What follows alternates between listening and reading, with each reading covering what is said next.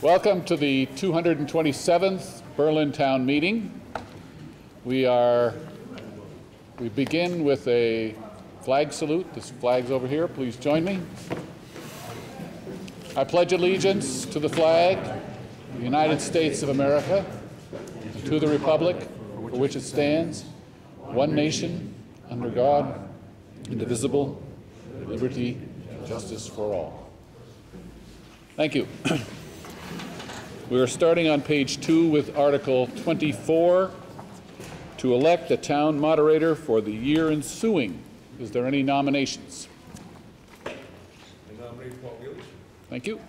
In the exercise of discretion, I'll turn the- it over to Tour Nelson.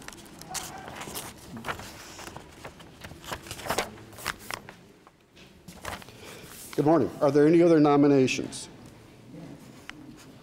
Hearing none, all in favor of Paul Gillies as town moderator indicate by saying aye. Aye. Any opposed, say no. The ayes have it. Paul Gillies is elected town moderator. Congratulations. Thank you. Thank you. Uh, it's my 18th year, and uh, I love this job. Uh, my job here is to get, well, help you decide what you need to do. We have a very short agenda today, uh, but we also have other business, and I think we look forward to having uh, some talks about various things at that time. The first article after the first article is Article 25, and it says to hear the reports of the town officers for 2017. This way, I will go through the booklet. If you have one, you can follow along. And uh, if you have questions about any parts of it, uh, it should be addressed to the person who knows about it. Uh, but uh, if we can't find, uh, we'll, we'll try to find the answer to any questions you have. Last year's minutes show that there were no comments during this section, and so I'd like to see you get a little more involved this time if you can, but that's just a recommendation. Uh, so we have the select board report on pages eight uh, through 10.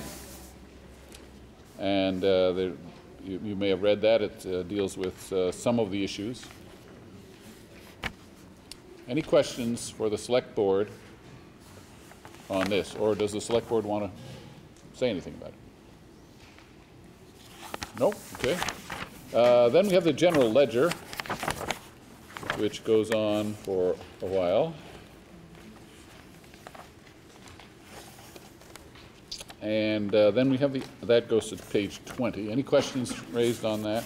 Uh, The auditor's report, which uh, takes up most of the pages, from pages 21 through 71.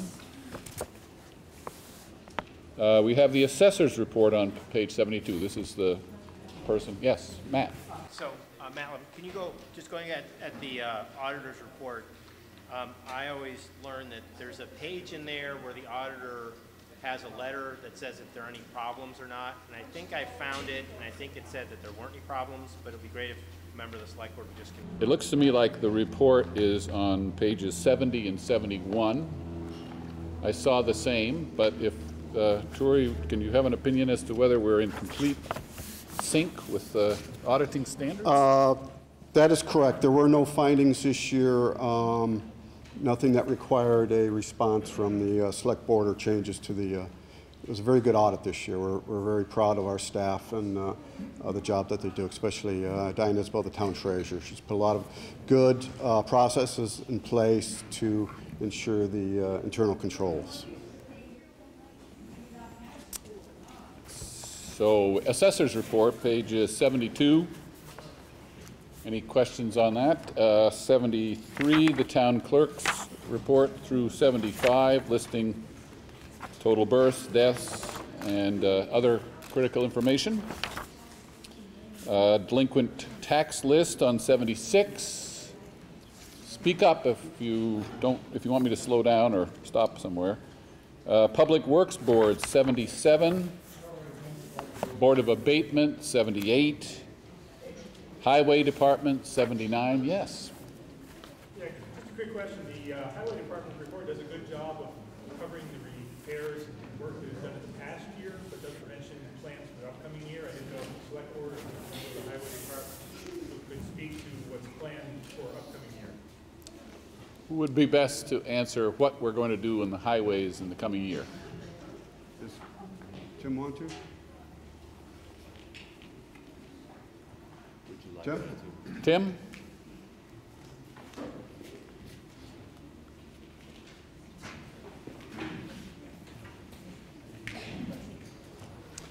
The question is, what are we going to do in the roads in the coming year? I don't think you have to be comprehensive. What's that? Um, we got a paving project that we're putting in a bid for with the state of Vermont. We've done it for four years in a row now, and they have denied us the, the money because they don't have the funds. So that's one project that we have if we get the bid. And then we're just going to do some paving wherever we need it if we don't get the bid, because we only have hundred and fifty thousand dollars to spend on paving.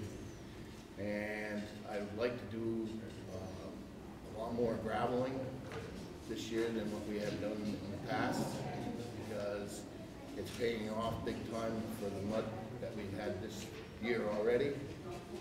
So that's a project, and then we got quite a bit of ditching and culvert work to be done.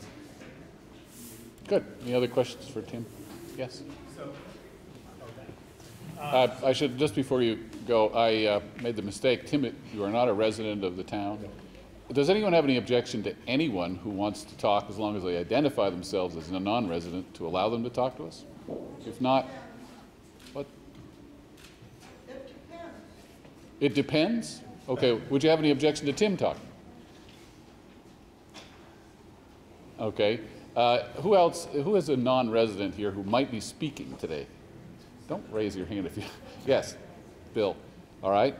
Any objection to Bill speaking? And our state representative? Seems only fair. Okay, we're not going to worry about that again. Now, Matt. Thank you. Um, Can you tell us about the, the plan for Route 12 south of Montpelier, uh, the second phase of the project?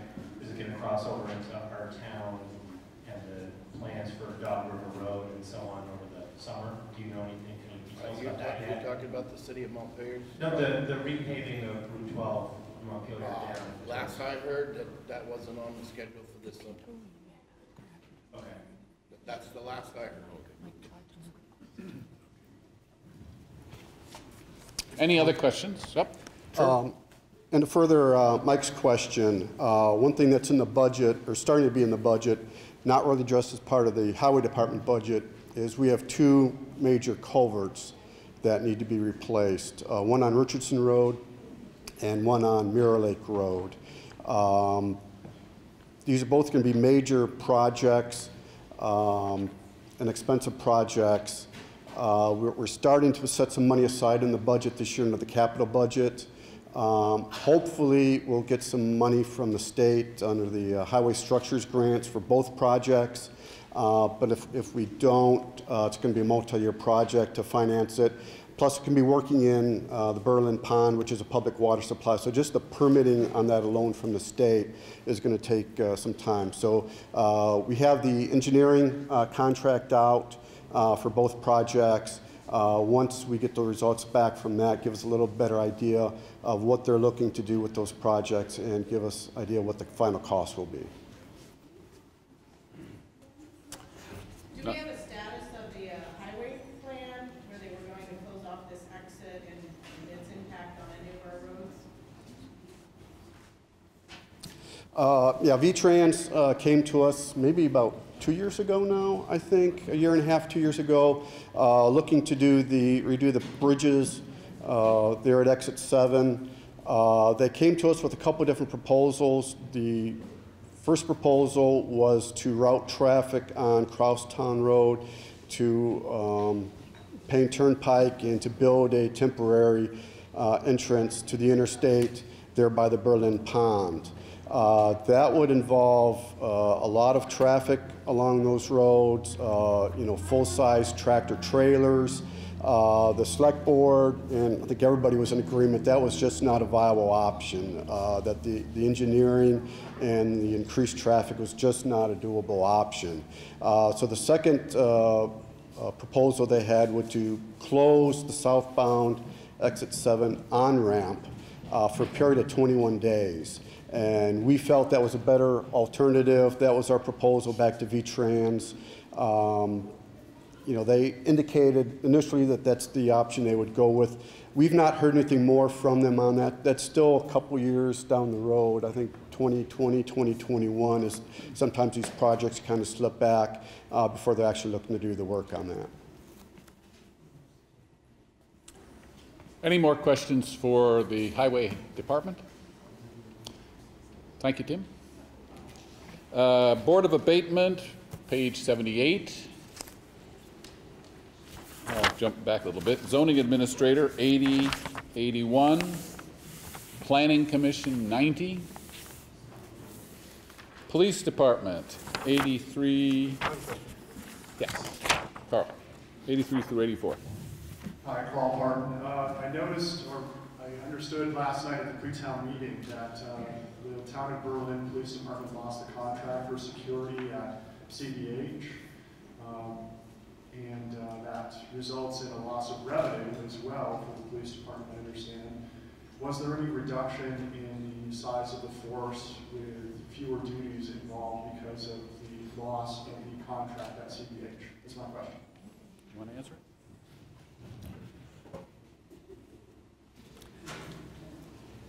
it? Short.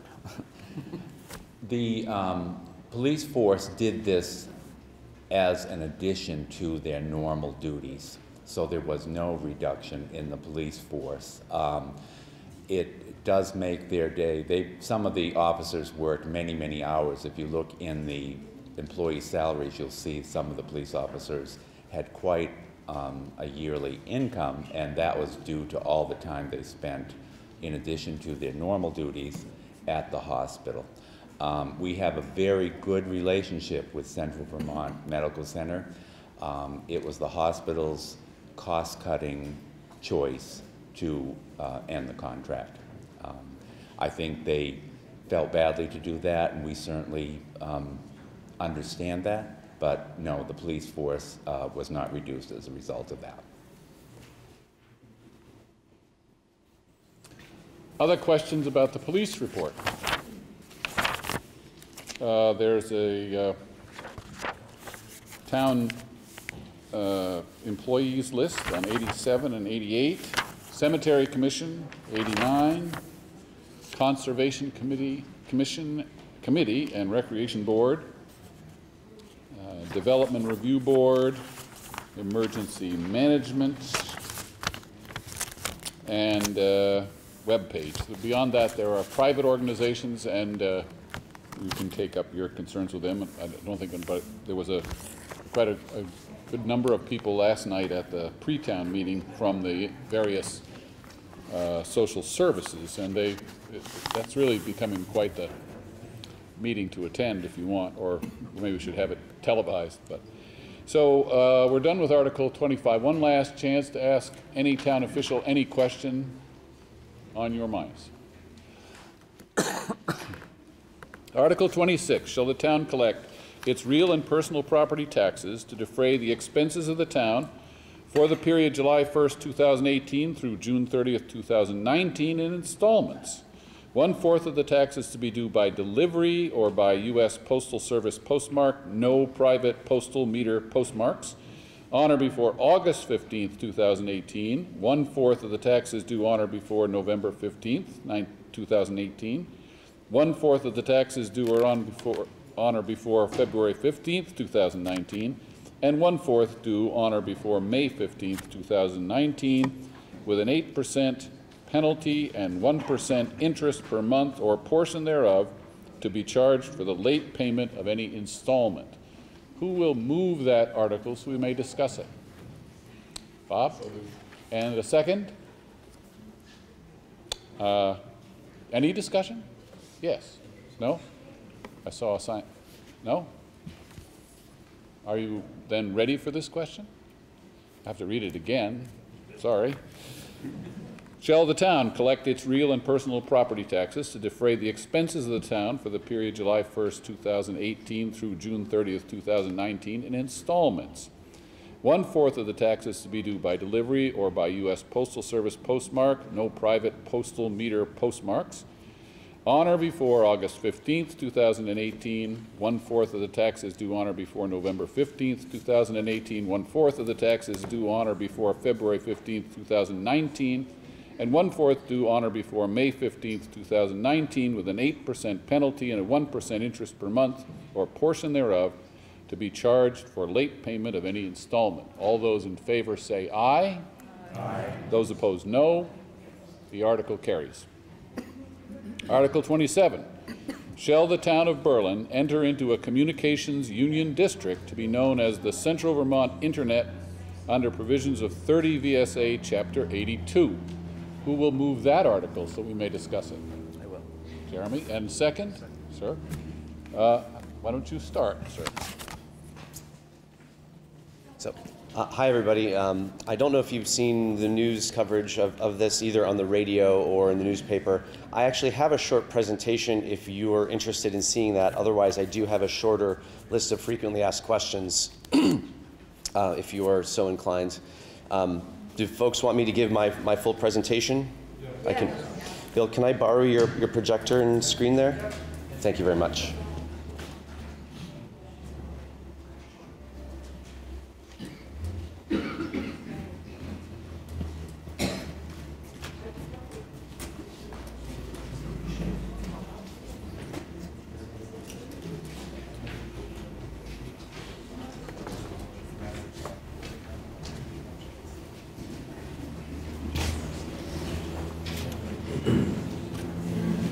You want the microphone? think, yes, I can see you. Microphone, maybe. This one. Okay. Thank you very much.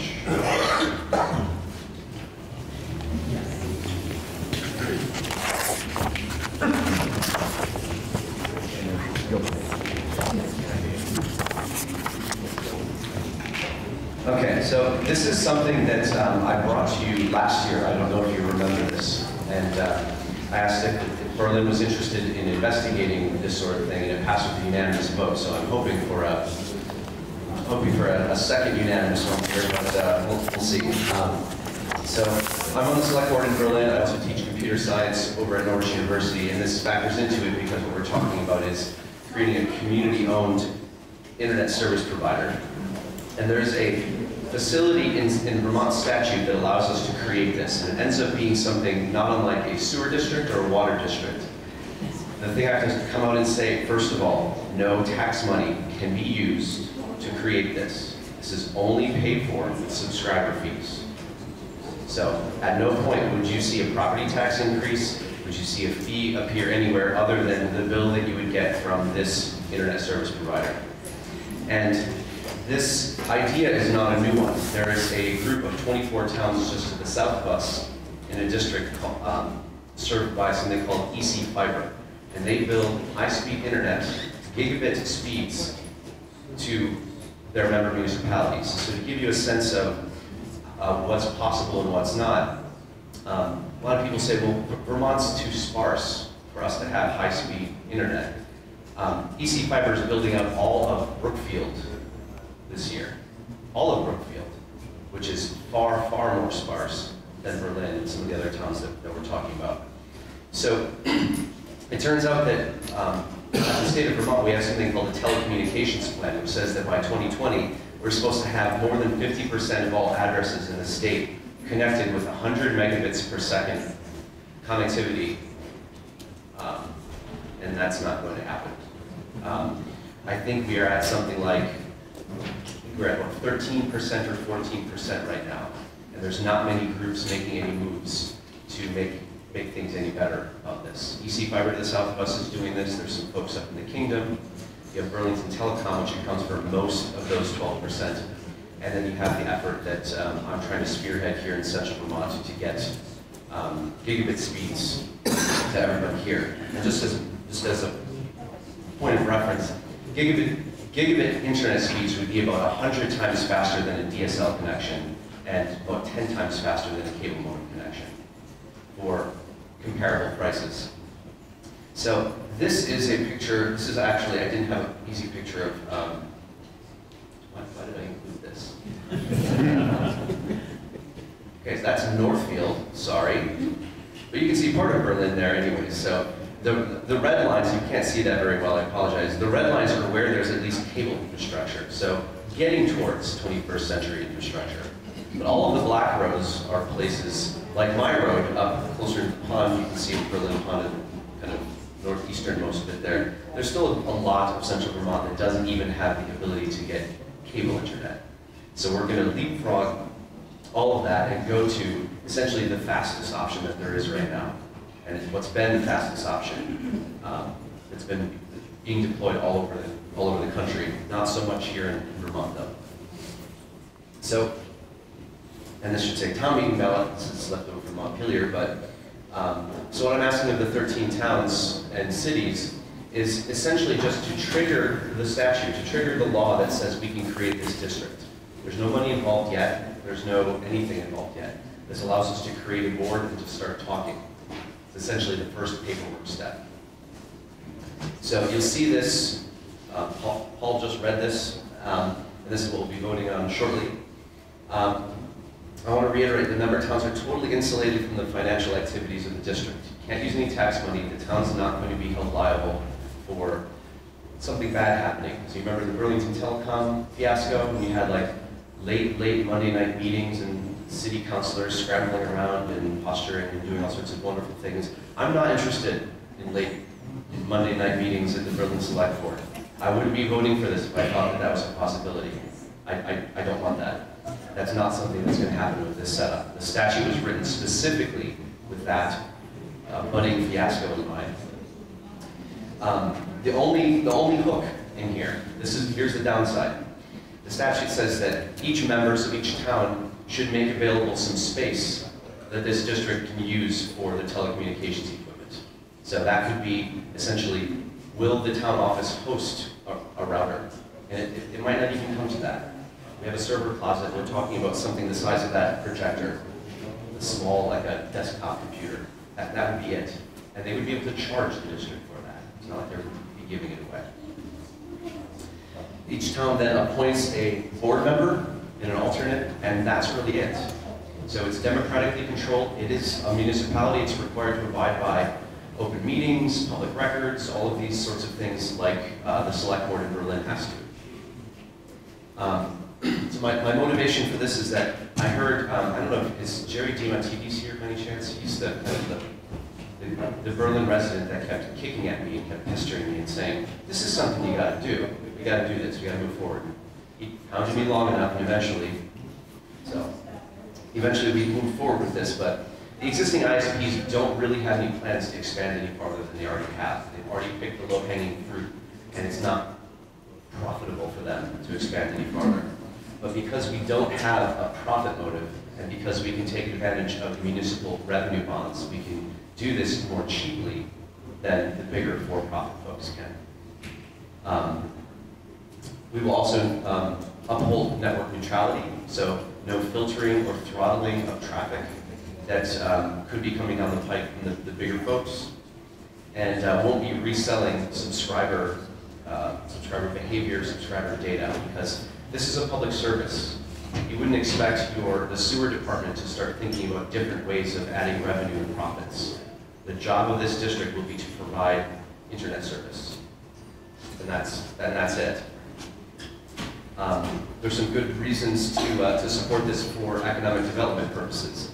Uh, telecommuters, Jerry DiMontides, who lives down the street from me, oh, and who just walked in, I was just picking on you, Jerry, sorry. He, um, he telecommutes to Virginia, and there's a lot of things that he can't do, not to speak for him, but um, if you're a telecommuter, there's some things that you just can't do without a truly high-speed network connection. So he has DSL, I have DSL, and that's fine for watching Netflix, that's fine for being a more of a passive consumer of media.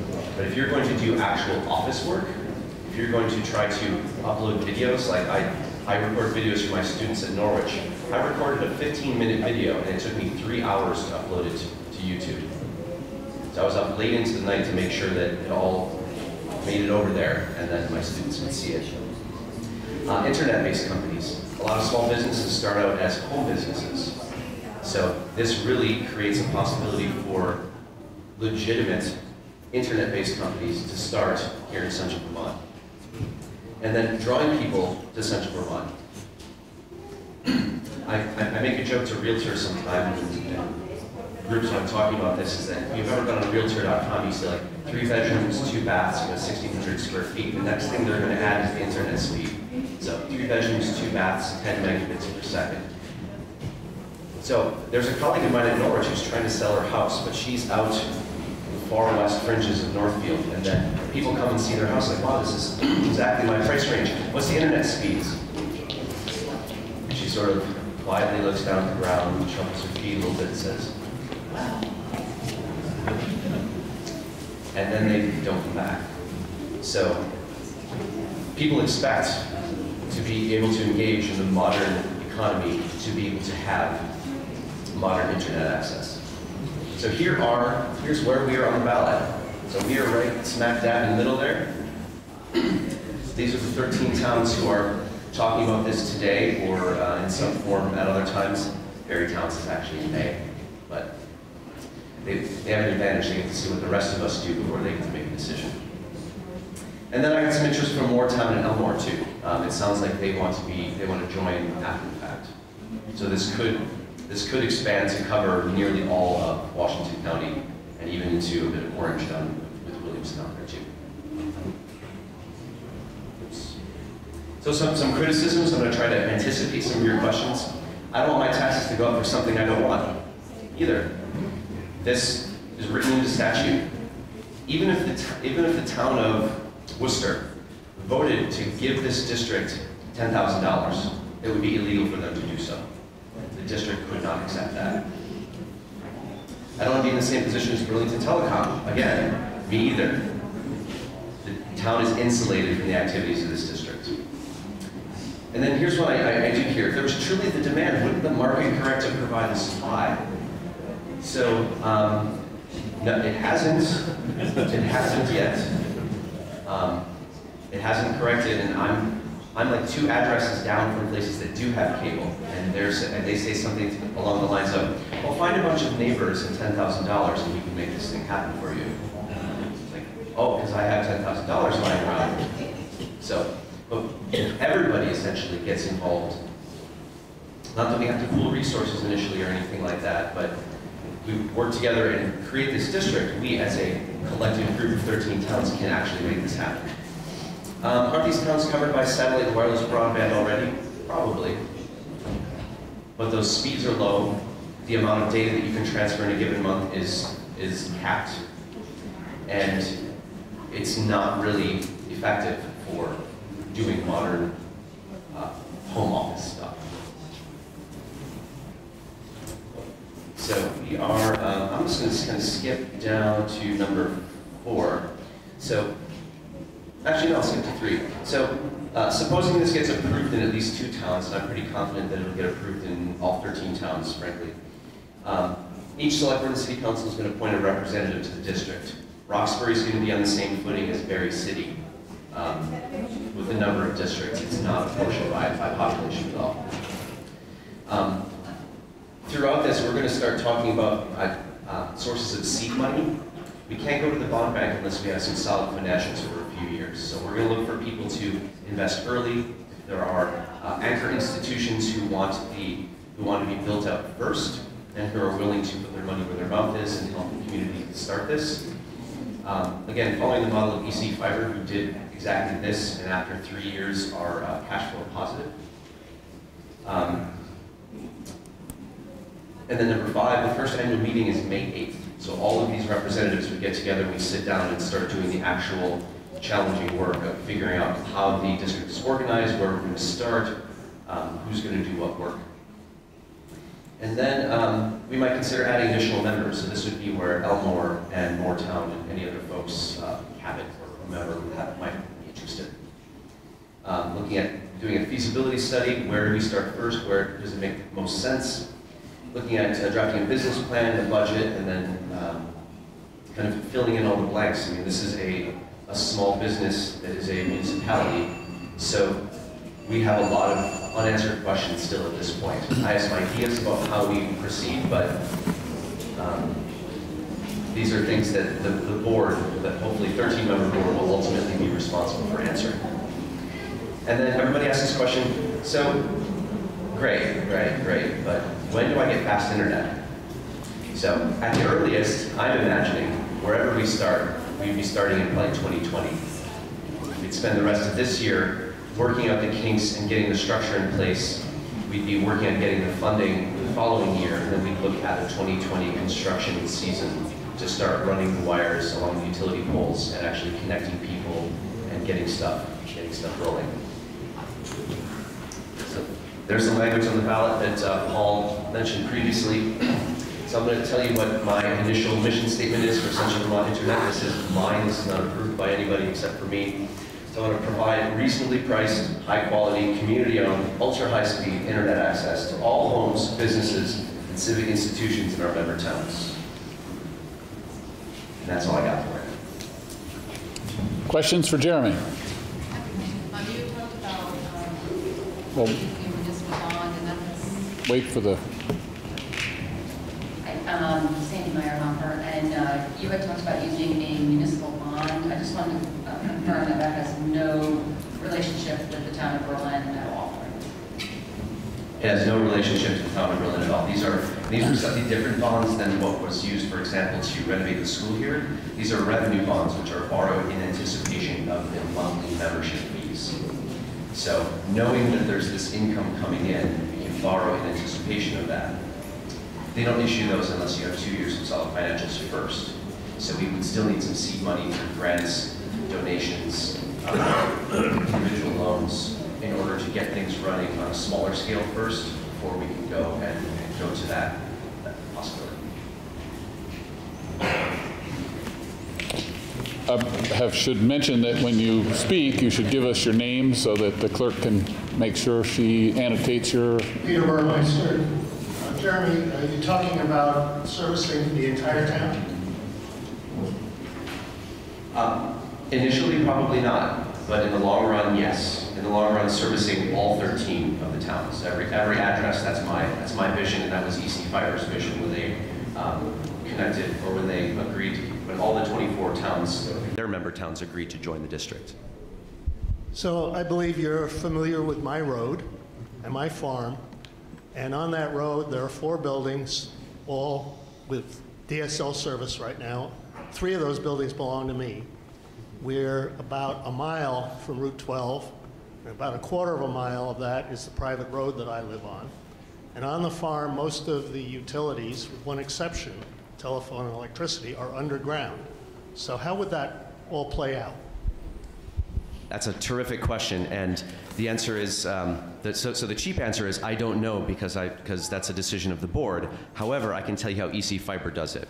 Um, the way EC Fiber does it is, if there is an overhead line of no longer than 600 feet from the public right of way, um, they do the work for free. If it's farther than that, the costs would have to be borne at least partially by the resident. If there are underground runs and it is easy to run the fiber through existing conduit, if there's room in the existing conduit, it's, um, and it's of, again, 600 feet or less, um, we can pull it right through there without too much issue. Or we can provide the, provide the cable to you and you could pull it through, through the conduit. Otherwise, there would be, if there's additional trenching required or any additional construction required, that would have to be borne by the individual resident. Sure. So Matt Levin. So it it seems like this seems pretty simple, and it seems like uh, I'll just say it seems like a good idea. The the approval of the town, since we have basically no liabilities or responsibilities beyond having someone on the board. So why is it sort of a technicality that the town has to approve this? I mean, I know that in the solid waste district, which I'm the town uh, representative to, there are some uh, embedded in the statute.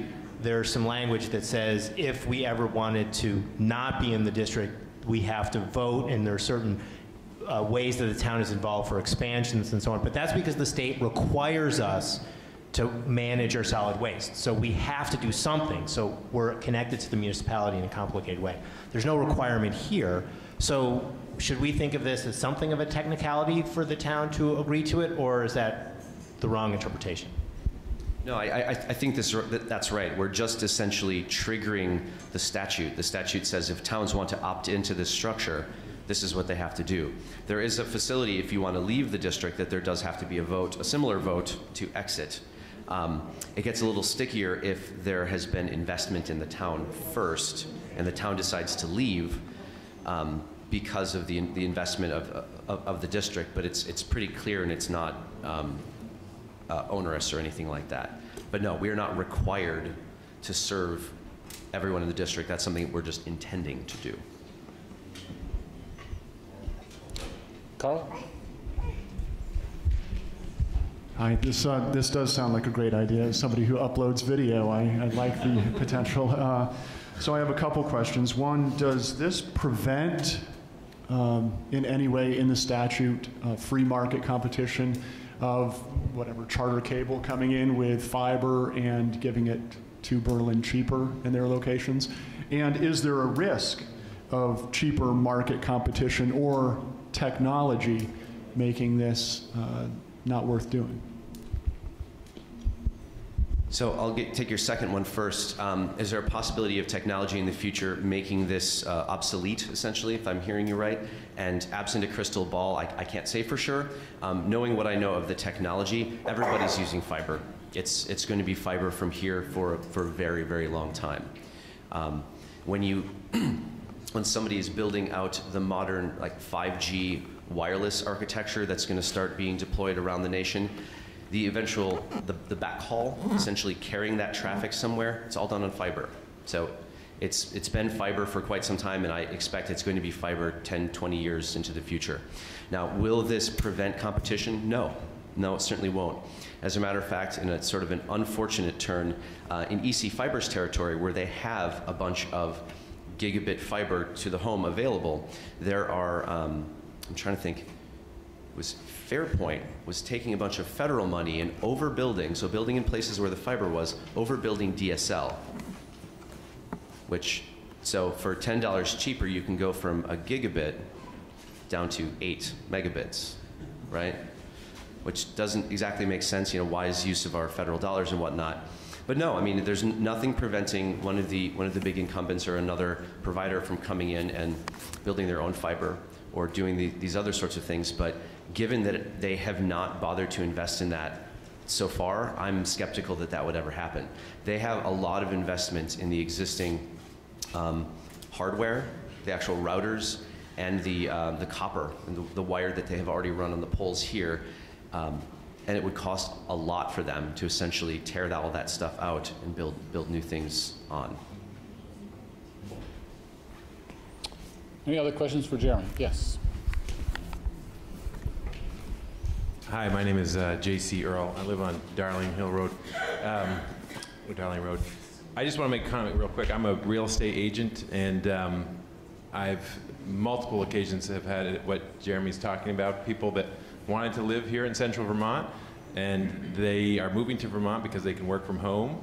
And uh, I ended up selling them houses in Waterbury and Chittenden County because we can't support that. So between that and yes, I'd, I'd love to be able to stream a couple movies, but that's not the big deal to me. the big deal is uh, we're not attracting the entrepreneurial businesses of the future. And for, for the vibrancy of central Vermont's economy, I think this is a, a huge slam dunk. So, not much a, a question there, but uh, thank you for spearheading this.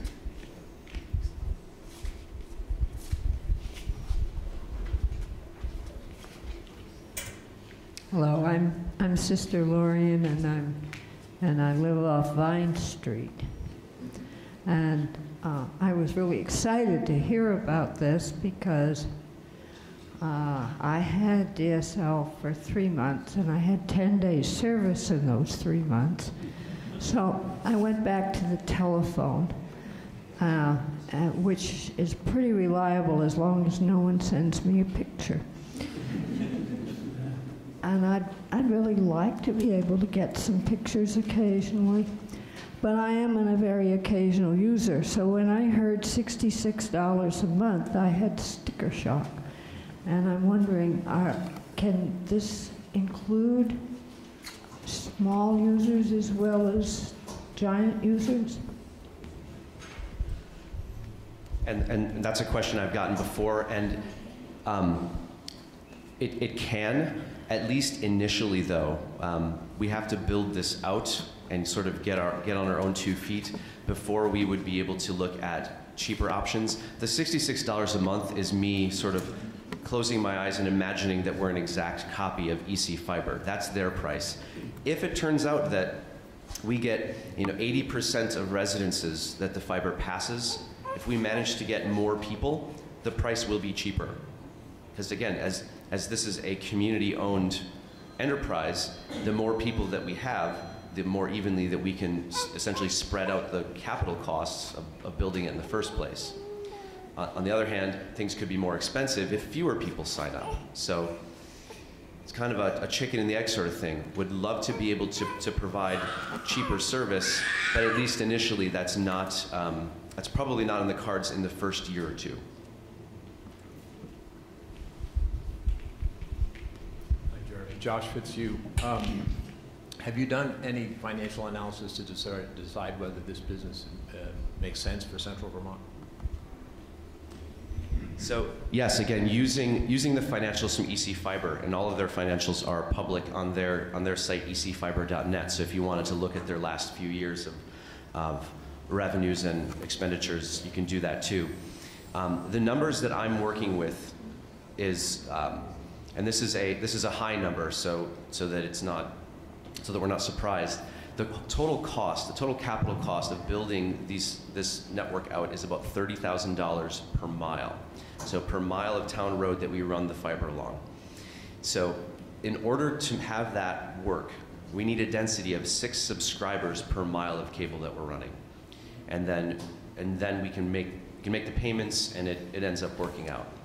So if we have, if we're running it along 20 miles of road in 20 miles of town roads in Berlin or Northfield or wherever, we would need roughly 120 subscribers to commit to doing this.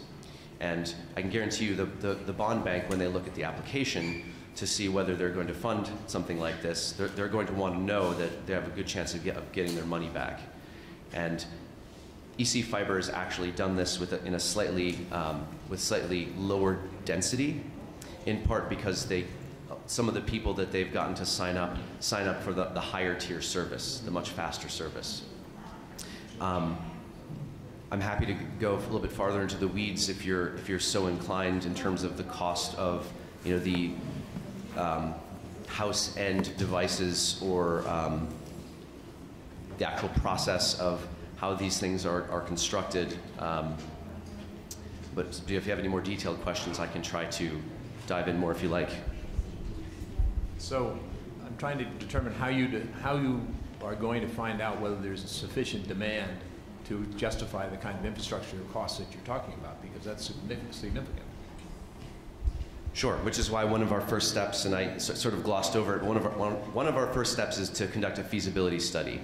And that could be done formally by contracting that out with companies that do such things, um, or by simply uh, doing something more like what Granite City Grocery did, and just going and shaking the trees, knocking on doors, talking to neighbors, and getting people to commit to to joining this. You know, if you, it's not an if you build it, they will come. We have to make sure that they're going to come before we build it. Um, and getting people to commit either with you know in in writing or by you know donating or loaning $100 or whatever it happens to be to guarantee that it makes sense in a certain area. And those areas, at least initially, that are more um, the people are more kind of ravenous for this sort of connectivity are going to be the places where we start. Now, if, if a big business comes out, um, or a big landlord with businesses or tenants or whatever, if they say, I really want this to attract more people, more businesses to my uh, commercial properties or whatever, if they're willing to, to put down a stake and, and help us get going with this, then that can help things too. But yeah, the feasibility study and just finding where the, where the people are.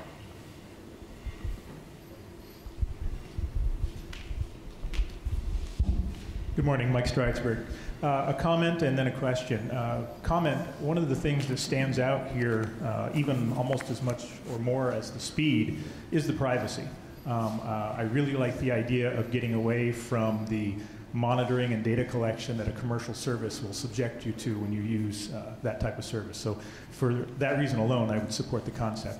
Uh, my question is, uh, I can see this being of huge benefit to schools, libraries, public institutions, um, and as a municipality, is there an agreement there? Would they get service at less or reduced or even no cost because it's a municipal service? That, that's a great question, and uh, EC Fiber does something very much what you're talking about, and I, I hope that we can du duplicate that as well. And what they do is for schools and libraries, they offer the highest tier of service for the lowest price. So they essentially offer, for $66 a month, they offer 700 megabits per second, which is actually going up to a, a gigabit this year. So yes, there are those, those similar agreements, although you know, the, whatever the board decides, it could be, it could be different arrangements. It could be free, it could be otherwise subsidized. Sure.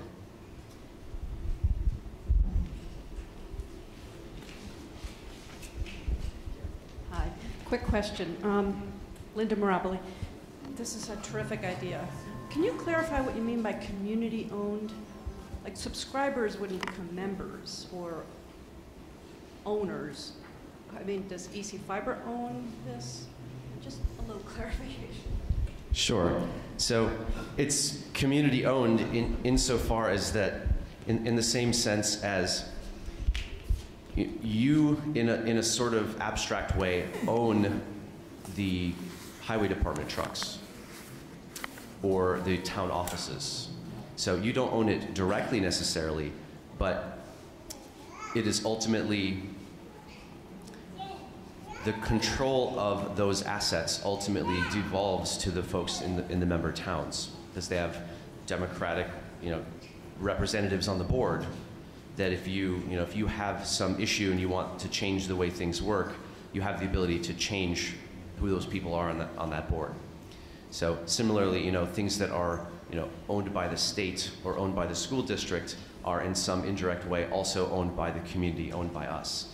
Um, so because it's a municipality, it's not community owned in the same sense as a co-op where like at the Hunger Mountain Co-op you're a member owner and you get like a dividend dividend check at the end of the year or something like that. Could could that structure be put into place once uh, once everything's built out and there's revenue left at the end of the year? Sure. EC Fiber is, you know, mumbled about that possibility in, in the past in conversations that I've had with them that when they have money left over at the end of the year, they write a check to the towns. That's not something that they're doing, it's just something that they're, they're thinking about. Does, does that answer your question? Okay. Rob Griffin, uh, Richardson Road. Um, I'm assuming that one, since you mentioned adding Elmore potentially in the future, that one can add additional towns to an existing municipality. Why, why have you chosen the approach of building a new municipality rather than adding to EC Fiber? This is an easy one. EC Fiber didn't want it. They have 24 towns, and they're, and they're saying, stop. We're going to build out all of our towns and get them set first. We're going to build out everything in our member towns first. And then we can start thinking about, about the future. But that's, I mean, the, they're not going to be done building out their member towns for another three or four years. So we could conceivably, we could conceivably wait three or four years until they're done and then, then petition to join. Um, but we're going to be low, low, low on the priority list. I could probably ask, uh, check this question uh, on the internet, but my, my internet speed is really slow, so I'll ask you so I, so I get the quick answer. Uh, EC Fiber, do they have an average installation uh, turnaround time from order to install for their, um, in their experience? And do they have uh, maintenance and customer service satisfaction rating at all that you know? So I'll start with your second question again first. Um, yeah, so if you've ever been on social media, you'll know that sometimes Facebook and Twitter can be a bit of a cesspool. I'm being totally generous here. Um, EC Fiber's Facebook page, on the other hand, if you check it out, is a It's like puppy dogs and rainbows. So everybody's like, wow, I just got hooked up. This is so great. This is amazing. I love my installer, all these things, and five star ratings across the board. And it's, it's, really, it's really impressive. And having visited their offices, um, they're really, really lean operation, but they do a terrific job with, with what they have. Um, I don't know the specific numbers for the, the turnaround time. I know that they do schedule these things uh, as far out as they can. So if there's somebody in Brookfield that wants to get hooked up and who um, you know, knows that they're on the construction route, they can, they can turn it around, turn it around pretty quickly. Um, once, the, once the infrastructure is there, yeah, I mean, I, I have to imagine it would be within a couple weeks. I mean, if, if you're not in part of the original build out. But they get, they get super high marks in terms of customer service and, uh, and their like call center, essentially. Tech support, that's what I was looking for. Uh, Bob Warnick. Uh, Does the town voters get another bite at the apple? In other words, once this concept is approved today, uh, will there, four bond votes, or how does that work, or is this it? This is pretty much it. Um, so this al- essentially allows us to create the district. The town could have another bite at the apple if they decided to leave the district. That would be the other vote that's there. Um, the bond votes, because it's insulated from the town, um, the bond votes, um, as far when I'm if I'm reading the statute correctly and I'm reading how EC Fiber is doing it, that's managed by their board. That's not that's not brought to a um, to a town by town vote for each of the bonding opportunities that, that go forth from there.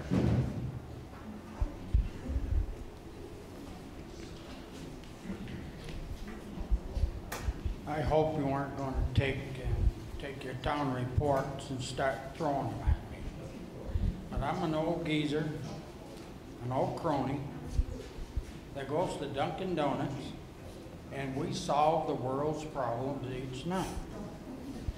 Well, this will eventually come true.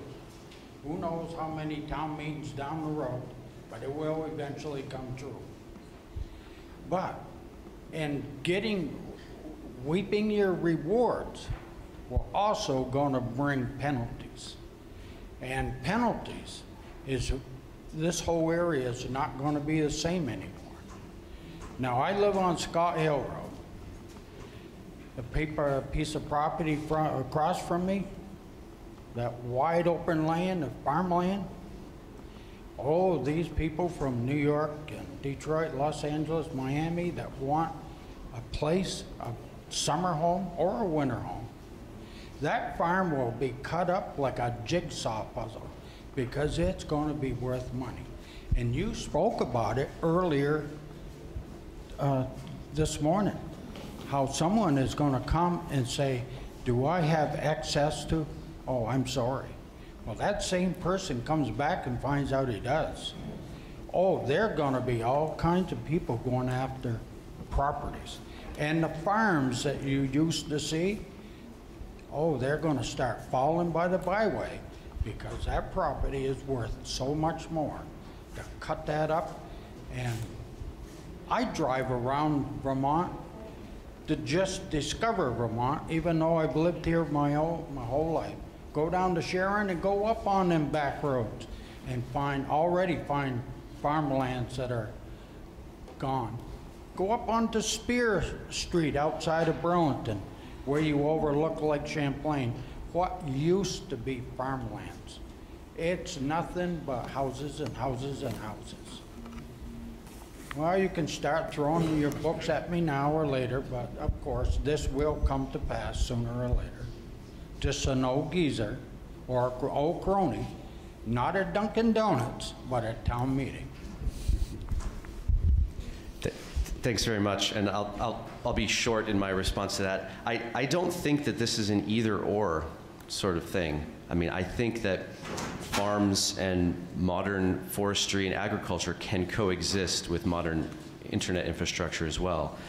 Um, I think the, the place for us to put our efforts into thinking about how we want our town to grow and how we want to preserve farmland and direct the way that we want development to go is through our planning commission. We're in the process of updating our town plan, which has a lot. It's, it's, a, it's a big plan, and it has a lot to do with how we imagine Berlin looking in 10 years. And uh, that's um, from the planning commission. Bob, Bob, do you, that, that plan hasn't been approved yet. We're still, we're still working on that, right? Okay, so that's, that's still in, in progress. So um, we have the opportunity to say, we don't want the farms to be divvied up. We don't want um, the large blocks of land to be split up and sold into residential developments. We, we have that opportunity as residents. And I, I totally hear what you're saying. I, I'm still of the personal opinion that we can coexist both and, not, not either or. But that's just me. and I'll have to meet you at Dunkin' Donuts sometime to continue. A question in the front.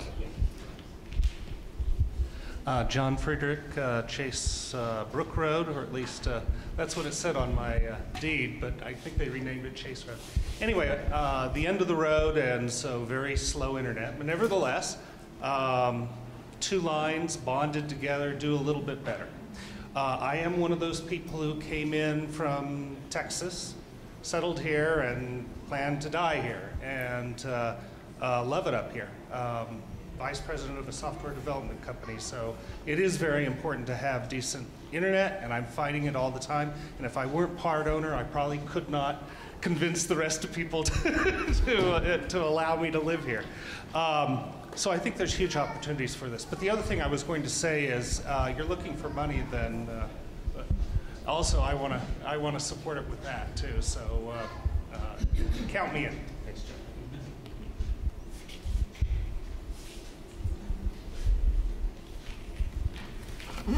Matthew Polka, Bartlett Hill Road. I just wanted to clarify that this public utility district is, uh, would be accountable to the people in local towns here, whereas uh, those of us who may have Verizon or Charter or something right now, those util, those utilities are uh, corporately owned and they're accountable to that corporation, is that correct?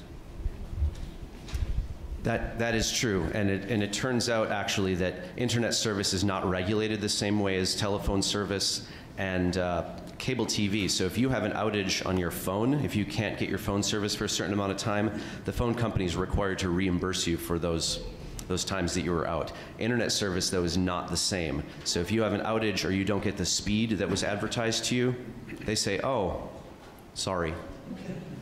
And that's all you get. There's no, um, there's very little, I don't want to say no accountability, but there's very little accountability from the, the larger companies. You would, you would at least have the ability then to call tech support in central Vermont or call your board member here in central Vermont and complain directly to them or have, you know, have lunch with them at Dunkin' Donuts and let them know what's what.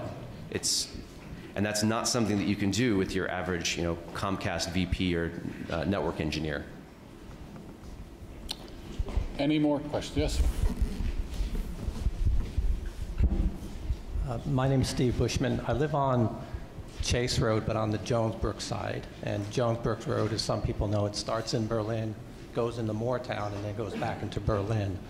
So my first question is, are we going to be not able to get service because they would have to string line through Moretown and not able to offer service to the Moretown people that live on that road? And my second question is, I understand the subscriber cost if we elected to, to join and, and to get service, but the bonding costs, I'm a little bit confused about. If, if the community joins this, if they, if they create this, does every household get assessed a, a fee for the bond amount, or how does that work? Because this is a different kind of a bond, sorry, because this is a different kind of a bond than the bonds, like, like I said, to renovate the school, this is a revenue bond, so no, people who are not signed up for the service don't get charged. There's no additional assessment on your property taxes, there's no additional fee that gets snuck in anywhere else. Essentially what happens is when you get a bill at the end of the month and it says it's $66 or it's $100 or whatever tier you've chosen, you pay that, and the, we would use that then to, to pay the bond. And that's, and that's it. Um, the question about Moretown is a good one, and one of the reasons I was, I was happy to talk to um, the Moretown Select Board. And actually, one of the Moretown Select Board members works for the town of Berlin, so I had, had a quick in. Um, but no, they're, they're interested too because a lot of the folks that in, in Moretown that are underserved are actually on the eastern reaches of the town that border Berlin. So there are other folks right down the street from you in Moretown who want this service too. Um, and it might make sense for us to, to run one of our you know, main one of our main lines right past your house to feed Moretown. Um, I haven't looked at the, the geography of it, of it in depth, but that's one thing that I, that I did consider at least as I'm looking at the maps and where people are not covered. So even if Moretown decides not to come in though, we still have the ability to go through segments of non-member towns to serve members, um, to serve member towns. It's, it's gonna it's gonna come down to the to the, the calculus of how many miles of roads we're talking about, and if if you and a whole bunch of Berlin neighbors are, are, are there, or on average, however many people we, we have in the member towns, if it's far above our target of um, six subscribers per linear mile, then we can probably more easily stretch out into those places that are, that are a bit more rural, that are a bit more hard to reach. Um, but that requires some smart initial investment so that we have the, the wiggle room to, to go and branch out to those places eventually.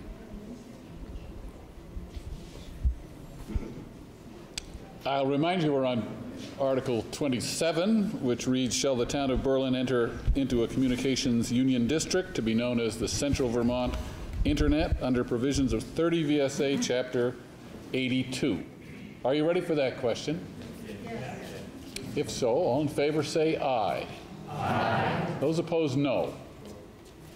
It passes unanimously. Article 28 the final article to discuss any other business that may legally come before the meeting is by law intended to prevent binding articles, but non-binding referenda or questions or announcements are completely available. And who would like to speak first? Thank you. Tor Nelson, Chair of the Select Board. Uh, usually we take this time to have a quick update from the uh, state legislatures. Uh, Representative Lewis is not able to be with us today and sends her regrets, but we are privileged to have Representative Anne Donahue with us today. I'd like to give her a moment to uh, give an update on what's going on in the legislature.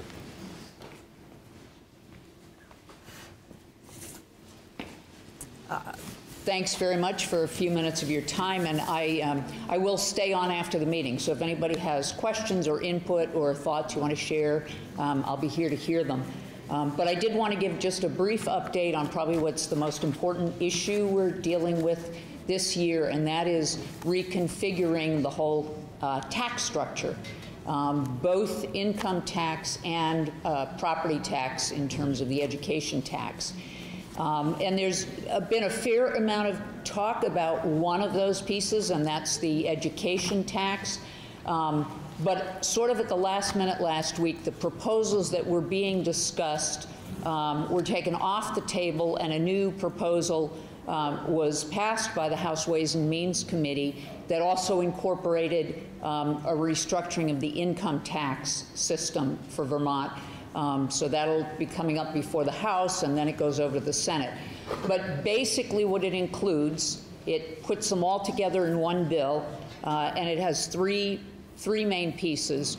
Um, first of all, for those who weren't aware, the federal tax change. Vermont's income tax currently is directly tied to the federal tax, and so the um, the result of the federal tax changes. If we did nothing as a state, um, it'd be awesome because the state coffers would grow by $30 million and we wouldn't even have to raise taxes. We'd just have all that new money to spend, which I think would be sort of cheating, It'd be like a secret tax increase.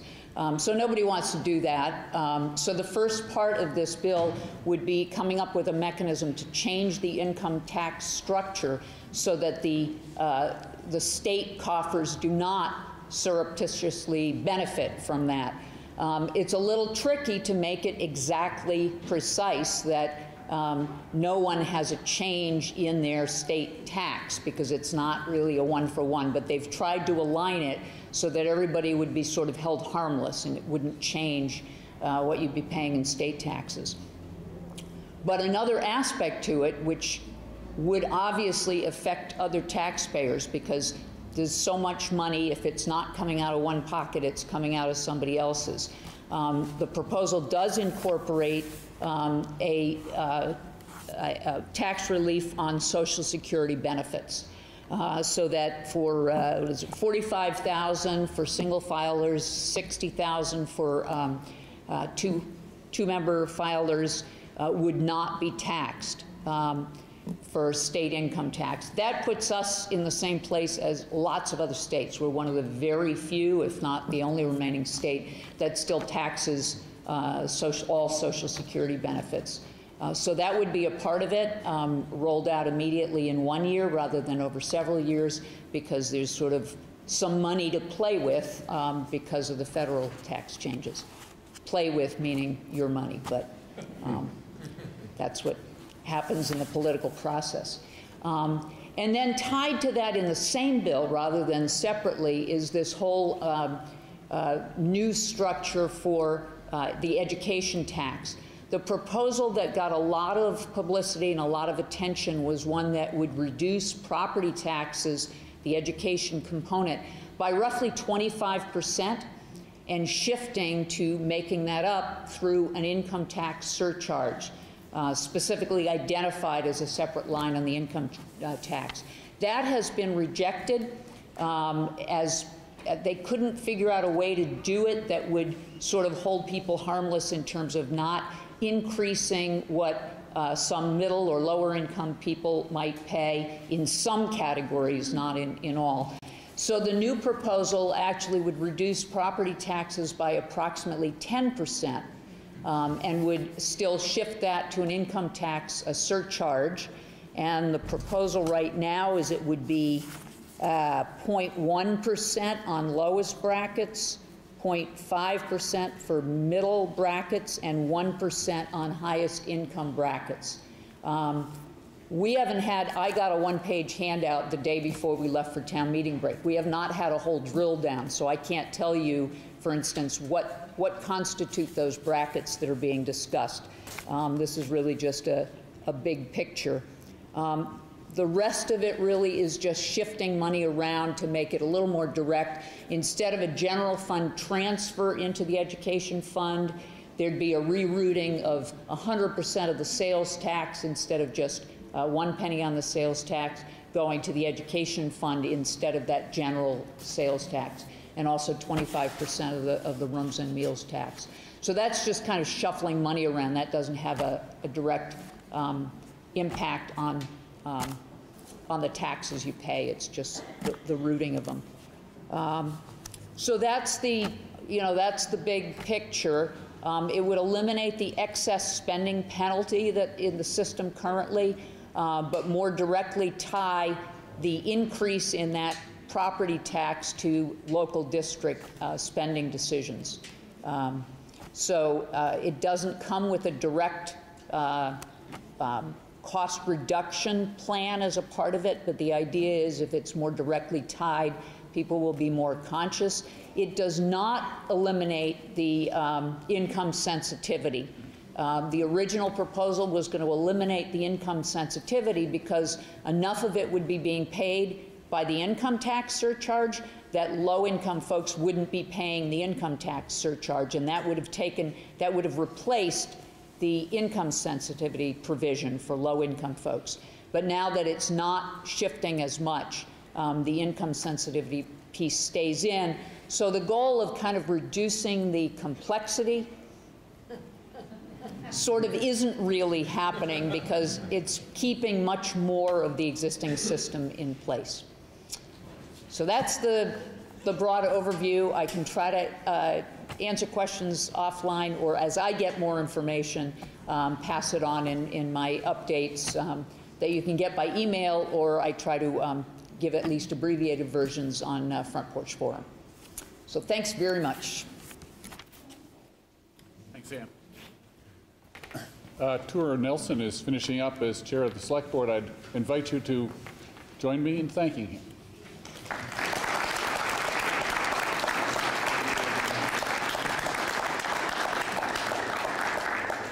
Uh, There was an announcement from a lady from the Unitarian Church, I know. Come right up to the microphone here.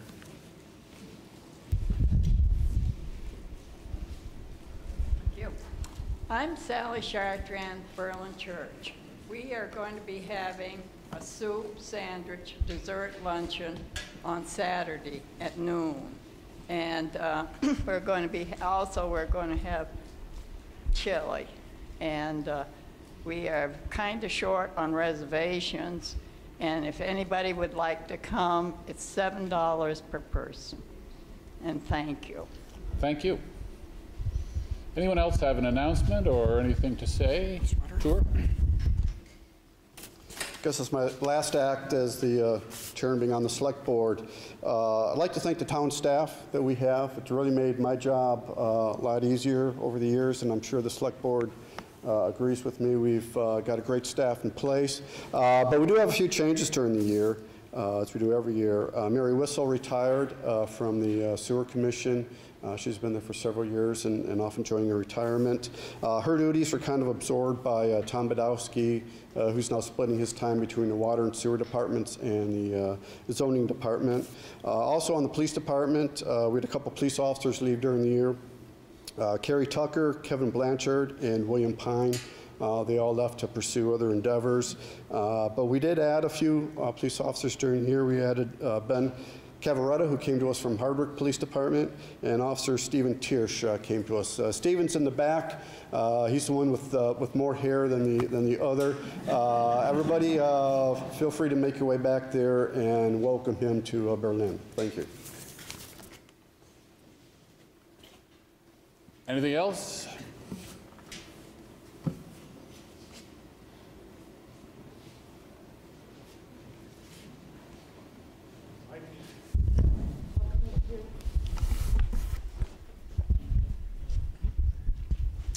Hello, I'm Pat Barbera. I live off Hill Street Extension. And it's just a couple of comments. I'd like to thank the Highway Department for the wonderful job they've done all winter. Um, when I'm safe and warm in my bed and those plows go by on my country road, I, I just say how fortunate I am that I live in the town of Berlin. And I also would like to thank the police department who helped me out with the nuisance problem that I had. And they were very responsive to me, and I'm very indebted to them. I noticed in the town report that they're encouraging the use of surveillance cameras on our property. And I might put in a request that maybe the town could do a workshop for those of us that are technologically challenged on how to set up these surveillance cameras on our property to help ourselves and our neighbors. And maybe it could be on, on the website or maybe at a town hall, at a town meeting, whatever. But anyway, I think it's a great idea. Thank you. Thank you. Corinne?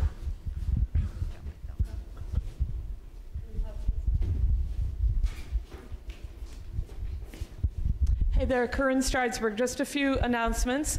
I want to make sure people know that the PTNA is having a seed fundraiser out in the lobby. Um, it's High Mowing Seeds. Um, you're not actually getting them, you're ordering them, check or cash. Also, out in the lobby, we have some Girl Scout cookies for sale that we haven't in the last few years. Uh, Historical Society has a display out there. We hope you'll take a look. There's both some stuff on poster boards and a couple of interesting binders. Also, the Historical Society this year's potluck meeting will be, well, potluck presentation, I should say, will be Wednesday, May 16th over at the Congregational Church. And it will be Sally Chartrand and David Perrin who will be giving some history of the church. We have some other meetings lined up. They're on the screen paper out in the lobby. Uh, dog licenses are due on or before April 1st. It's $9 if they're spayed and neutered, 13 if not. And one other thing to mention. I haven't seen many of you at the Capital City Grange. The first Saturday, Saturday of the month, they have a potluck. It's great. 6 p.m., first Saturday. Who doesn't like potluck? Anything else with town meeting? Jeremy? Uh, Corinne just r- reminded me too a- about the Grange. Um, the Grange offers all residents of Berlin the, the opportunity to use their facilities for free.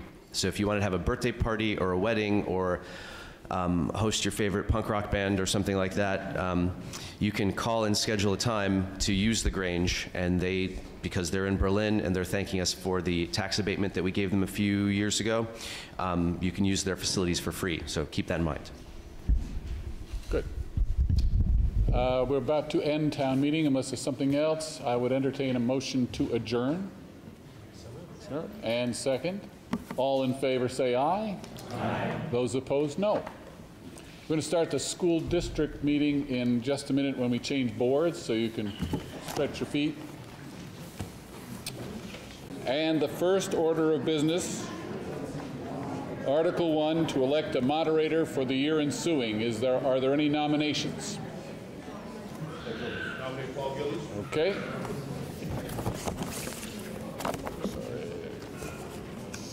Script here.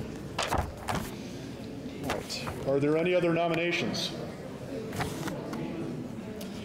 Uh, Hearing none, all in favor of Paul Gillies as the town school district moderator indicate by saying aye. Aye. Those opposed, nay. Okay, Paul Gillies is elected to the town school district moderator. Congratulations. Thank you, thank you.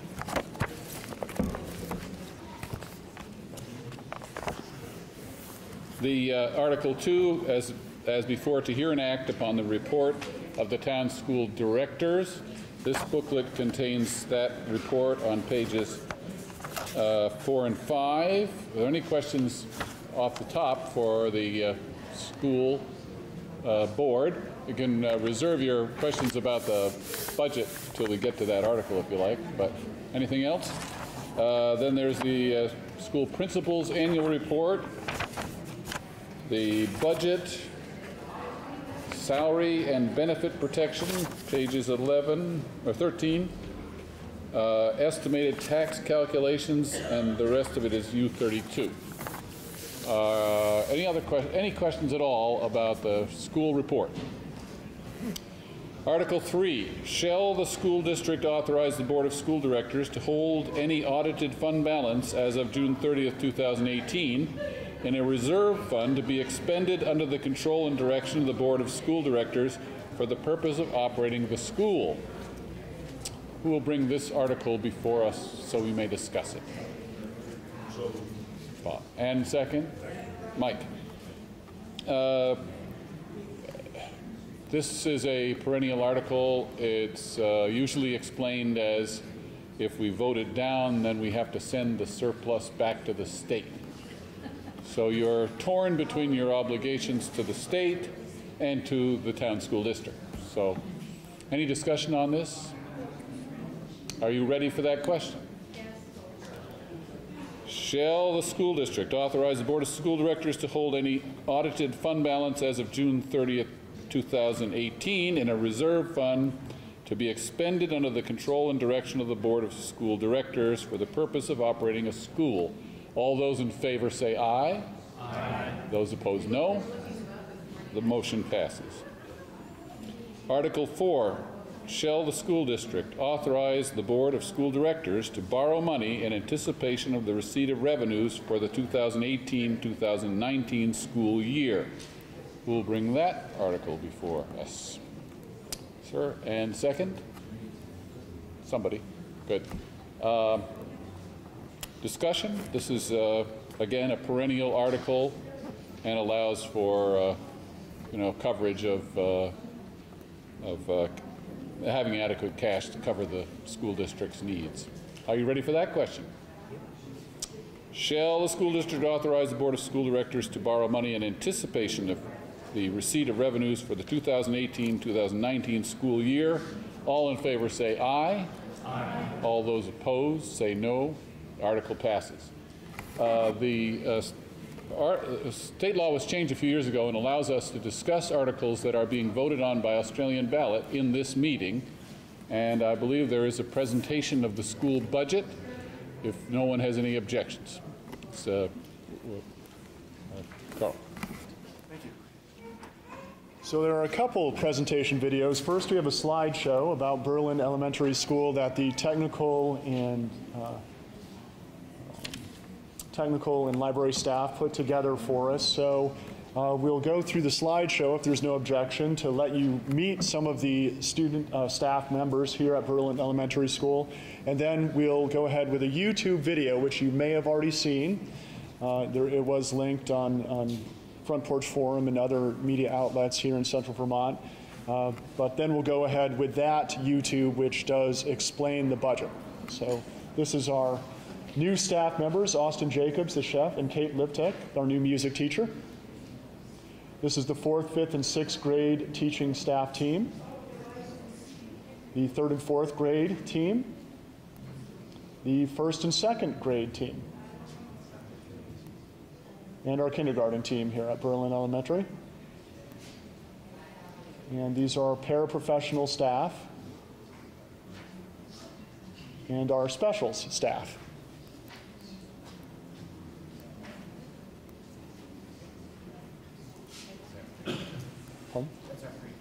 That's our, oh, pre-K, sorry. Uh, and these are our specialists, our interventionists that help with uh, um, extra help with reading focus and mathematics. Our special education team here at Berlin.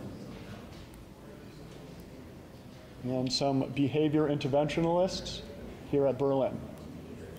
And, our, and this is a crew that we can certainly thank today. They helped us get everything ready uh, today, so please thank uh, Chuck, Jeff, and Stephen, our maintenance department here at Berlin Elementary. And this is the administrative staff, our office staff, and our school nurse. Uh, this is a photo of some of our math outreach and, and special projects that the kids are working on.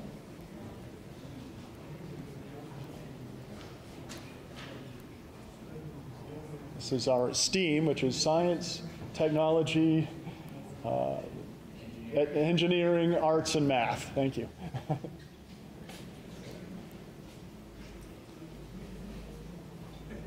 some of the projects that our third and fourth grade classes are working on.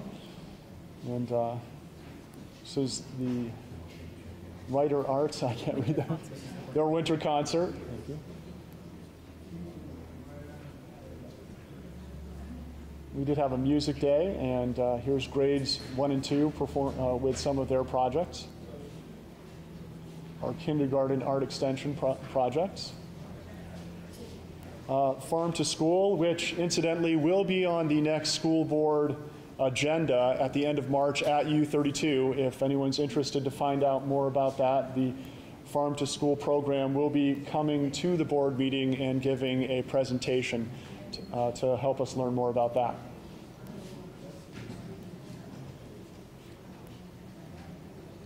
This is a field trip the students took, gleaning apples, and I think it was at the VTC uh, apple orchard.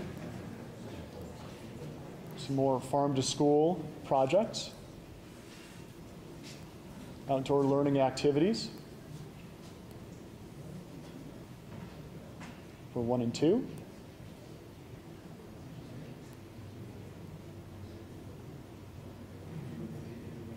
Getting kids involved in science in a way they may not necessarily fear it is always a good thing. So it's great that we are uh, using nature to help the kids here at Berlin Elementary.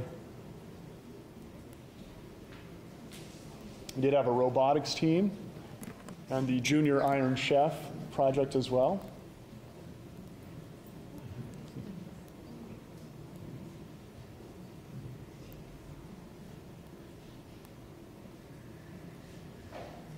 This is uh, PBIS bill, stands for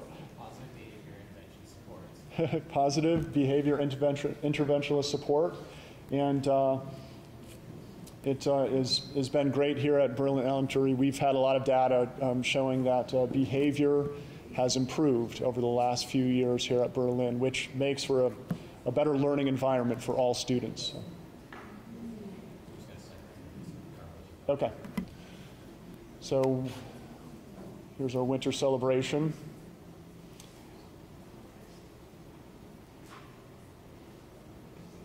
library maker space.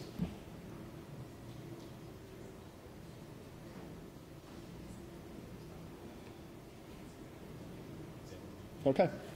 I'd like to thank our technology staff here at uh, Berlin Elementary for putting that slideshow together. And there will be uh, also a presentation about the budget. Uh, while Bill gets that ready, I just want to say um, last year we did have the bond go through, and a lot of improvements were made to the school.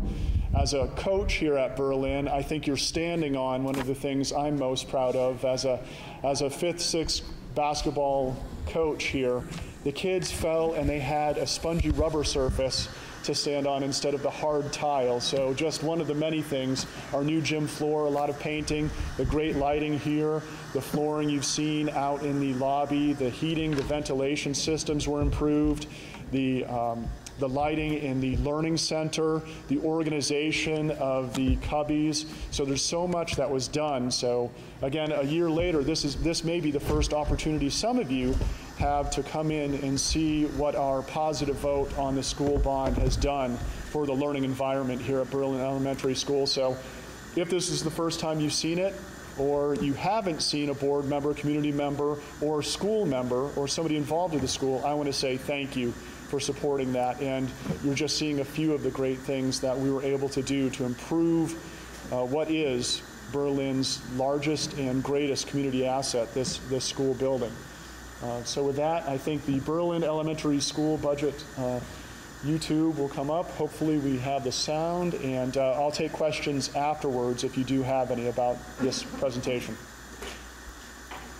Thank you for taking a moment of your time for this Berlin Elementary School proposed budget presentation for the years 2018-2019. Within this presentation, we'll be talking about the budgeting process, the components of the 2018-2019 Berlin Elementary School budget, and the factors that impact the tax rate for Berlin taxpayers, the local budgets, the state tax rate, the property yield, and the common level of appraisal. When creating a budget, there are several competing pressures, as you see in this diagram below. First of all, curriculum decisions, the teachers and staff contracts, economic pressures. Educational quality is the foundation of all our decisions as school board members. Political pressures, revenue projections, federal mandates and benefits, and of course the tax burden and student test, test scores. When developing the Berlin Elementary School budget, there is a system and sequence First of all, the principal and superintendent and business administrator for WCSU, with staff input, come up with budget draft scenarios. That budget draft scenario was presented to the school board for review and commentary. The school board makes determinations and evaluates those budget scenarios, deciding things such as should we add staff, should we cut staff, should we change programs, and the Berlin Elementary School Board holds open meetings and community forums for community input on the budgets. Once a budget draft is approved by the school board, it is then presented to the town of Berlin for voter approval. The proposed budget for the 2018-2019 fiscal year is $3,510,918. That's a total expense change of 1.74% increase. The net impact on taxes is 1.86%. The proposed budget educational spending per equalized pupil is down 3.51% this year. In 2017 and 2018, our per equalized pupil spending was $17,507. It's now $16,892. You can see in the graphs below the percentage of expense change in each budget category. You will notice that there is an increase in WCSU assessments. Those assessments were transfers from The decrease you'll see in the orange pie segment in special education. The special education budget was moved from the districts to the supervisory union level.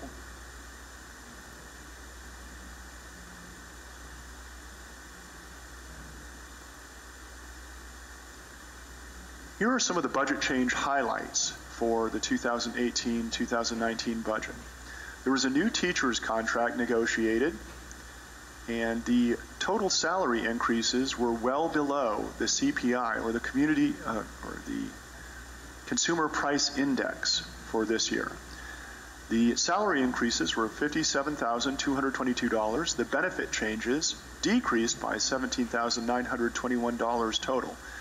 So the total negotiated items is an increase of 1.14%. Non-salary items increased by $20,618, 0.6%.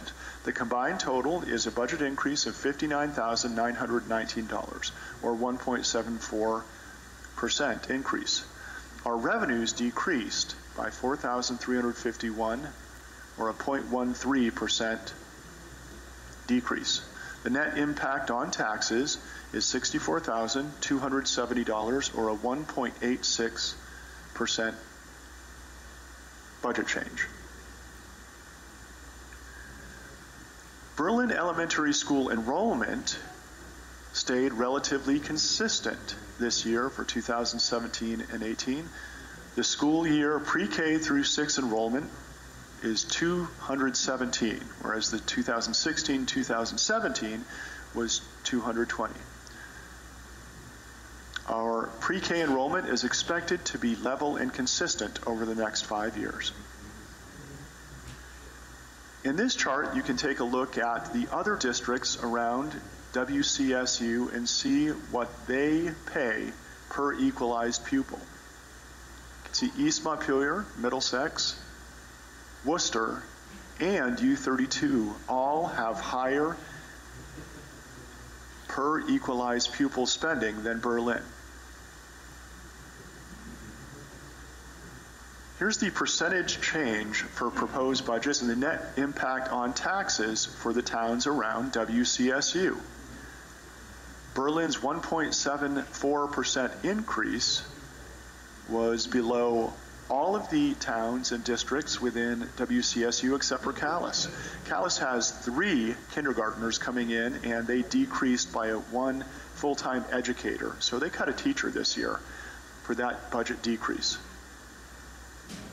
If you'll note at the bottom as well, this change and impact on taxes also inclu includes the 3.28% special education and transportation increase.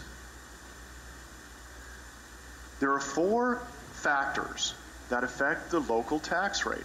The common level of appraisal, the statewide education tax rate, the property yield, which is a new feature of the education funding system, and the Berlin eh, Elementary and U32 school budgets. The Berlin Elementary School and the U32 High School Board of Directors only have impact on the fourth item. The only thing we can control is our elementary and high school budgets.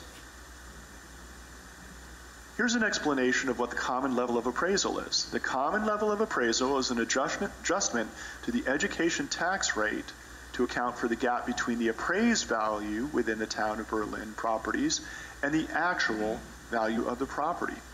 In 2018 and 2019, the common level of appraisal for Berlin is factored in at 102.45%. That's a negative 3.39% change from last year's 105.84%. This will result in a tax increase of 5.5 cents.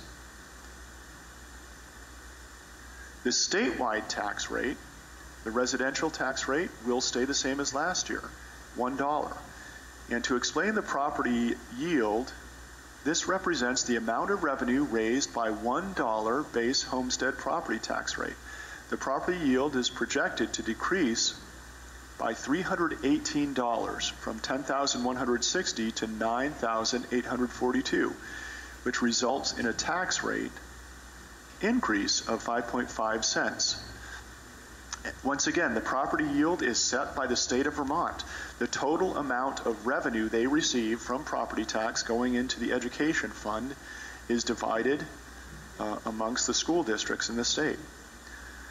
The changes in the CLA and the property yield total 11 cent tax rate increase. The proposed budgets at Berlin Elementary and the town of Berlin share of U32 have a very minor impact on the increase in the Berlin tax rate. The non-residential tax rate is projected to increase in Berlin from 0.079, or from 1.55 to $1.62.9. This combined with the change in CLA results in a tax increase of 14 cents. These rates do not reflect income sensitivity adjustments, which are available to most homeowners with incomes less than 137,500 dollars a year. You can look now at the tax rate impacts for 2018 and 2019 for the districts throughout WCSU. Berlin at 11 cents, Calais, who uh, cut a teacher this year, is at 0.068 cents,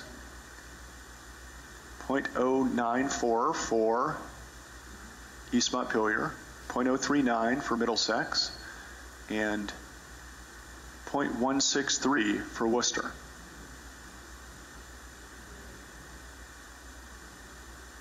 It's estimated that 56% of Berlin residents receive support for their property taxes from income sensitivity.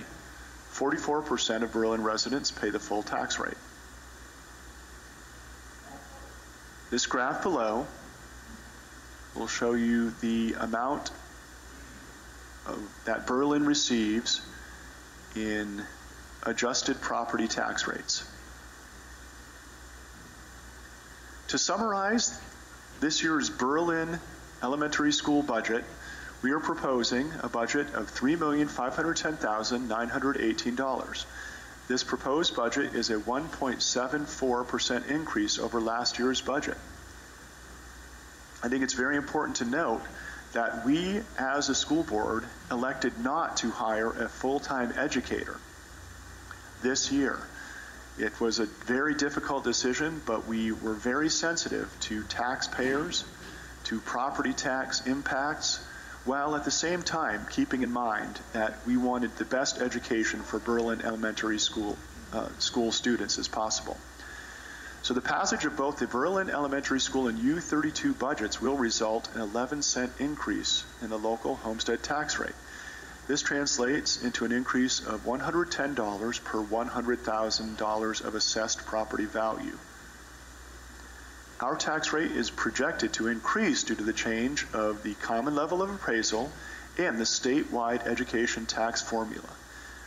We, the Berlin Elementary School Board, believe this is a responsible budget balancing fiscal, fiscal constraint with student needs. We ask your, for your support. We also invite you to the public hearing, which will be held at Berlin Elementary School on Monday, March 5th, 2018, at 6 p.m. We'd be well, you missed that. that was yesterday. We did have a good meeting, and uh, we had a lot of folks show up and, and, participate. So I'm thankful for those people who came to that meeting to find out more about the Berlin budget, and I'm thankful for each of you uh, for being here today as well. Uh, I would, at this time, there's just a couple quick things I did want to mention. Uh, that the 11 cent tax rate, uh, the 11 cent tax increase uh, this year, uh, 5.3 cents of that is because of the Berlin elementary budget, and 5.7 cents of that is the U32 budget. So those are two separate votes on your ballot if, if you haven't filled it out yet. So I did want to make that distinction as well, although I know as, as board members, we support U32 and, and making sure they give a, a and excellent education to Berlin students that go there and Berlin Elementary. We actually only, only had input on the Berlin Elementary budget and, and not on the U32 budget. Uh, does anyone have any questions they'd like to ask specifically? Uh, would you like to? No, no, please go. Okay. Any questions that they'd like to ask specifically ab- about the budget, the presentation? Yeah. Yeah. Actually, let, us get you the mic so uh, Orca can hear you.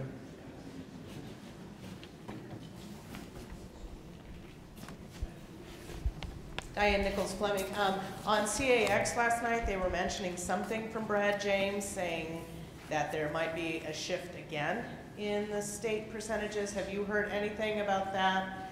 It sounded like it was a potentially positive move for schools, but I didn't know if anything had been said. About that. I haven't heard about it, so I probably shouldn't comment, but uh, the superintendent at WCSU, uh, Bill Kimball, is here, and if, if you'd like him to try to answer that, does he need to get permission, Paul? Who would object to his talking at this meeting? Anyone? Bill? Thanks, Diane. Um, the board developed this budget and uh, recommended it to the community back in January. They did it through November and December. All the tax ex- estimations that you see were from December 1st on.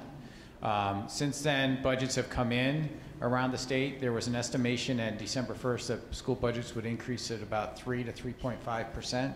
It looks like, with a very preliminary survey, I don't want to say it's it's tight there, Diane, um, that it looks like the estimated change for school budgets around the state of Vermont average is around 2.5 percent.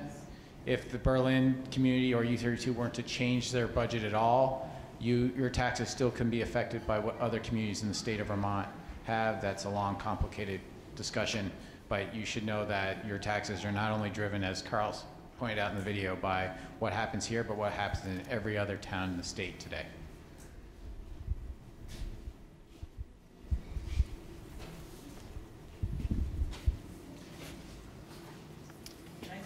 Yes.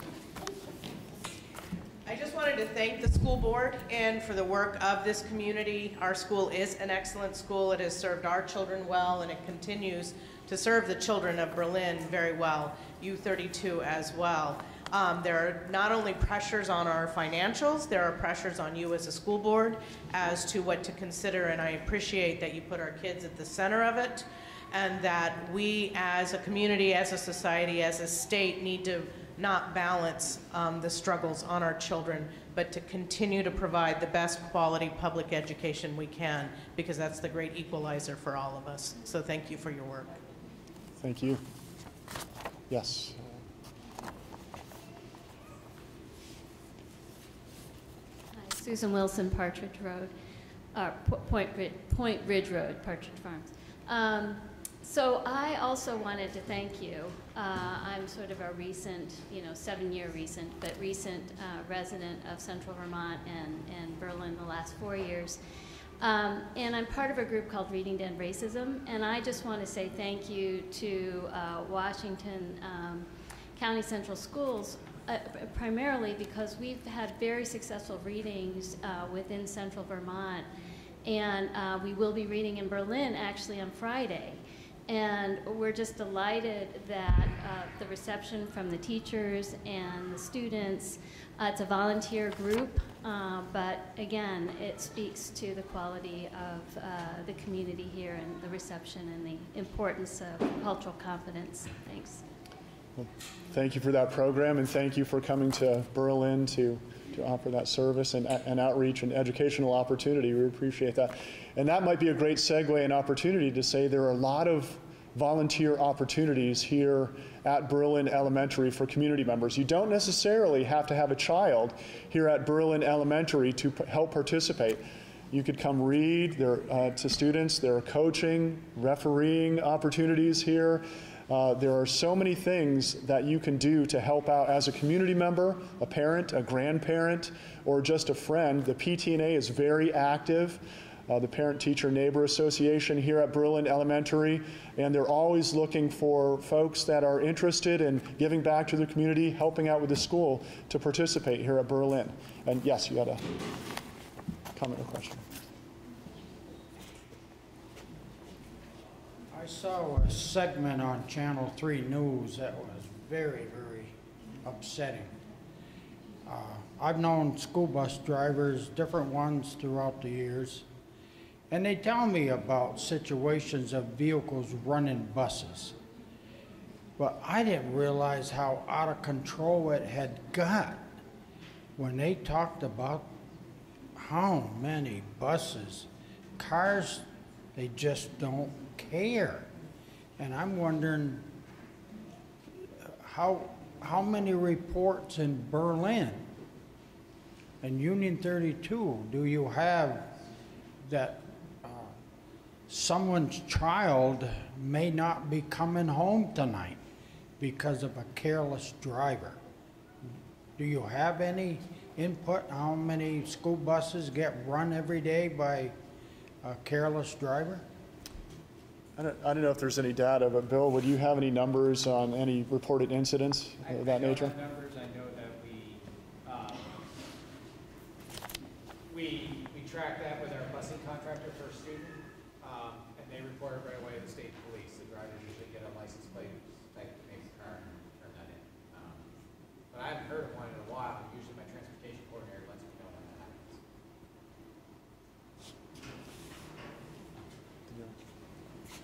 Any other questions? Thank you, Carl. We're on Article 5, the uh, other business article to transact any other business that may legally come before the meeting. Are there any announcements that should be made? Uh, I have the traditional announcement about the lunch, which is available here for $5. Egg salad, ham salad, tuna salad, corn chowder or minestrone, and uh, pudding, $5. Anything else? I'll accept a motion to adjourn this school district meeting. And second? All in favor of the adjournment, say aye. Aye. Those opposed, no. You are adjourned. Thank you.